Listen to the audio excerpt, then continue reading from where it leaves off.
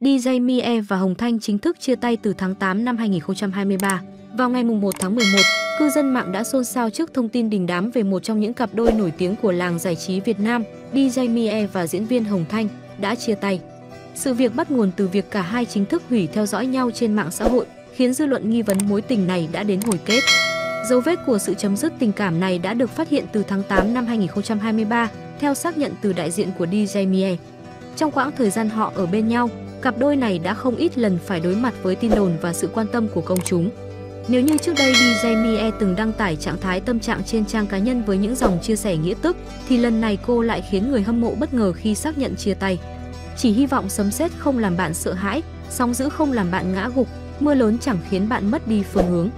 Hy vọng khi bão tan, mỗi người chúng ta đều trở thành phiên bản tốt hơn của chính mình, DJ Mie chia sẻ.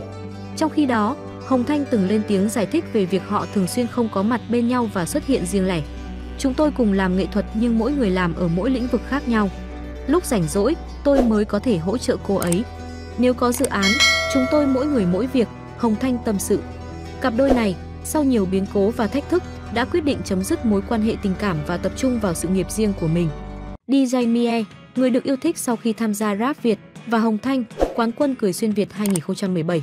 Hiện duy trì mối quan hệ đồng nghiệp bình thường do cùng công ty quản lý và sẽ luôn cùng đồng hành với nhau trong các dự án nghệ thuật sắp tới. Trong thời gian yêu đương của cặp đôi, họ không chỉ nhận được sự ủng hộ mạnh mẽ từ người hâm mộ mà còn phải đối mặt với không ít ý kiến phản đối về việc họ không đồng điệu về vẻ ngoại hình và sự nổi tiếng. Mối tình giữa DJ Mie và Hồng Thanh đã kết thúc, nhưng họ vẫn duy trì mối quan hệ chuyên nghiệp trong ngành giải trí và được hy vọng sẽ đạt được nhiều thành công riêng trong tương lai.